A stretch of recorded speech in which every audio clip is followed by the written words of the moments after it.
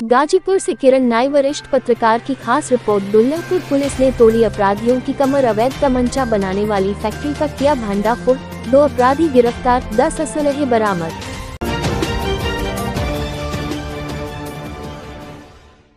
खबर गाजीपुर ज़िले से है, जहाँ पर निकाय चुनाव की सरगर्मी के बीच गाजीपुर पुलिस ने अवैध तमंचा बनाने वाली फैक्ट्री के गिरोह का भंडाफोड़ किया है।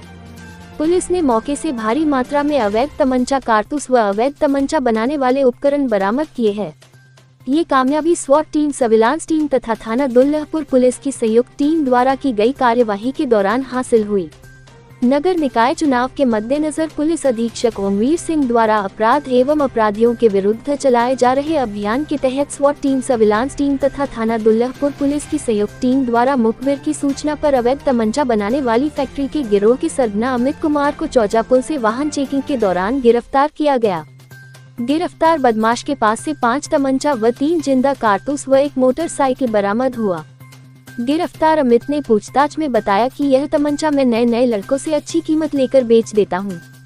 गिरफ़्तार बदमाश से तमंचा लेने के स्थान के बारे में पूछा गया तो बताया कि साहब मैं व मेरा एक मित्र पिंटू यादव एक साथ पिंटू यादव के घर पर ही तनमचा बनाते हैं।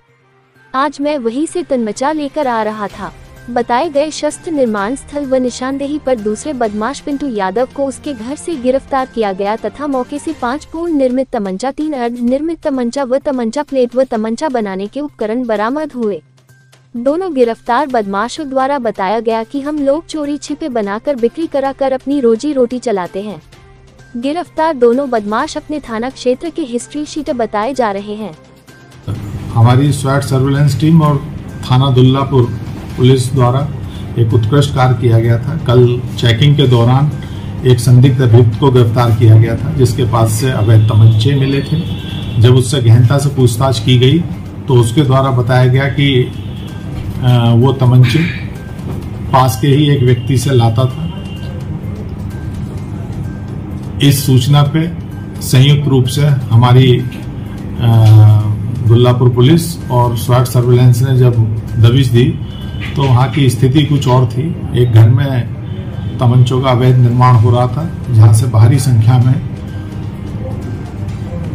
बने हुए तमंचे, अर्धनिर्मित, बनाने का सामान, कारतूस और बहुत सी चीज़ें पकड़ी गई हैं। और ये पहले भी इस तरह की घटनाएँ में ये जेल जा चुके हैं।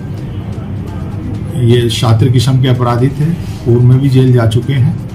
और वर्तमान में ये अपना बनाते थे वहाँ पे और एक इनमें से मार्केटिंग करता था उनकी।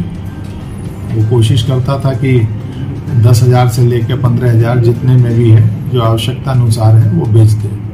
तो इसके फैक्ट्री के पकड़े जाने से, निश्चित रूप से इस तरह जो अवैध तमंचे लेकर लोग घूम रहे थे गाजीपुर और आसपास के क्षेत्र में भी ये लोग बेचते थे। बताया गया इसके द्वारा पूछताछ में। निश्चित रूप से कमी आएगी और अभी इनके द्वारा कुछ इनपुट मिले हैं। उसके आधार पर हो सकता है और जगह भी पुलिस कार्रवाई कर रही है। हो सकता है कहीं और भी हमें सफलता मिले।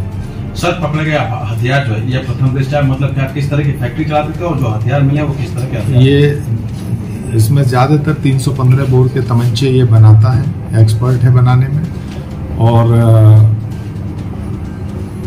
बहुत ही शॉर्ट नोटिस पे या डिमांड पे, जैसे ही, क्योंकि इन लोगों का एक नेटवर्क होता है, जिसमें घुसना पुलिस के लिए बड़ा ध्रुव कार्य है। लेकिन क्योंकि जो एसोदुल्लापुर हैं और स्वाट सर्विलेंस, इनकी जो मुखबिर था वो बड़ा सटीक उसके द्वारा सूचना दी गई जिसके आधार पे इनकी घर में तमंचे बनाते हुए गिरफ्तारी हुई है एक व्यक्ति की। एक आ, अपना जा रहा था जब चेकिंग में पकड़ा गया था क्योंकि इसी का साथी था। तो ये एक अच्छा काम इनके द्वारा हुआ है। सर इसमें सरगना इसका पकड़ा गया कि सर कोई और? नहीं सरगना जो बनाता है दोनों पकड़े गए हैं। इनमें एक